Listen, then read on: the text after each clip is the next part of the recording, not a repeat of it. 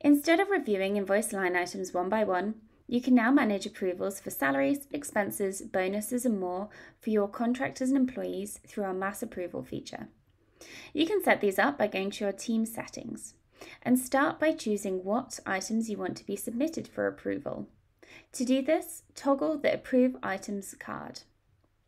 You can choose to set it as additional items only, and this means that anything that may vary month to month, such as expenses, bonuses, or overtime, are the only things that will require approval.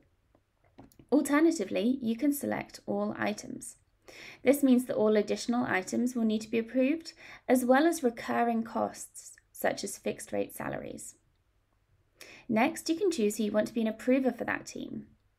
Admins by default will be an approver, but you can also enable approver powers for any managers, regardless of their role.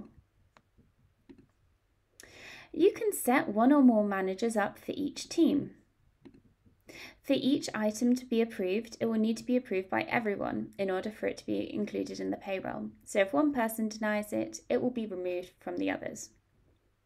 Approvers will receive email notifications letting them know whenever items have been submitted to them to approve.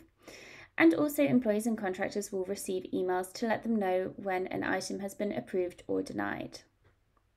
Please note that if you have autopay on, you will be required to have some level of approvals established.